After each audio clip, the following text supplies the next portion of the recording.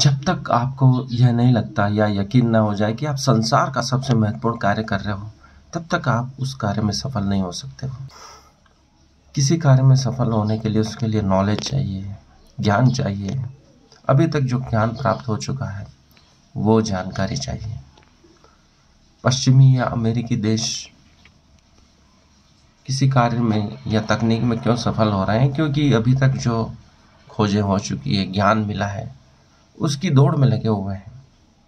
और जो प्राचीन ज्ञान है, उसको भी प्राप्त करना चाहते हैं। जिसके पास आज ज्ञान है, वही महाशक्ति है।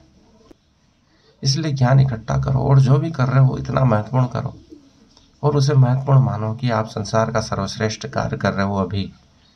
तो आप उस कार्य को अति सुंदर रूप दे पाओगे। और उसके सर्वश्रेष्ठ रूप देने से ही आप उस कार्य में सफल होंगे।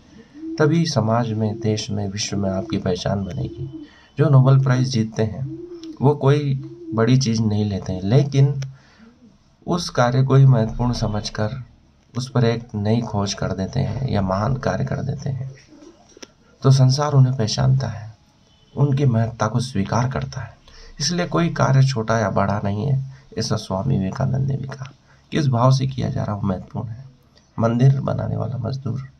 मजदूरी के रूप में भी मंदिर की ईंट को चुन सकता है, उठा सकता है, रेत उठा सकता है। लेकिन यूँ सोचें कि हम भगवान का कार्य कर रहे हैं तो एक महान कार्य होता है।